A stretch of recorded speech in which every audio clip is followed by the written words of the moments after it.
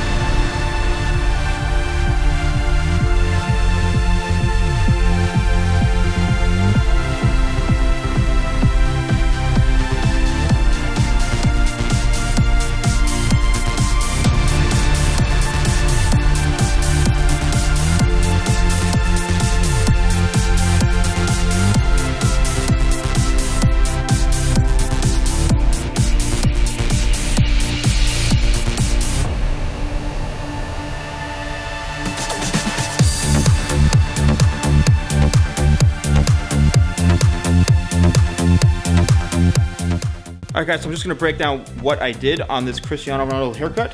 So from here to here, I used a two initially. Then I went with a one and a half, so about right here, just to fade in the bottom a little bit.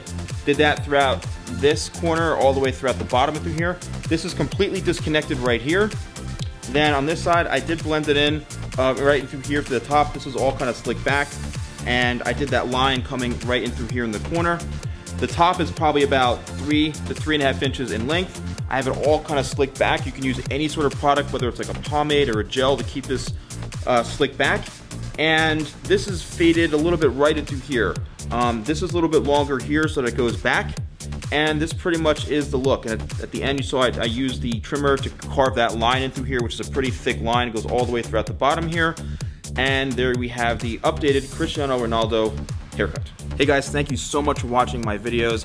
It really means a lot to me. Don't forget to like, leave comments, and also subscribe. So as you can see here, I've got celebrity interviews, I've got event coverage, and also more tutorials. So don't forget to subscribe and keep watching.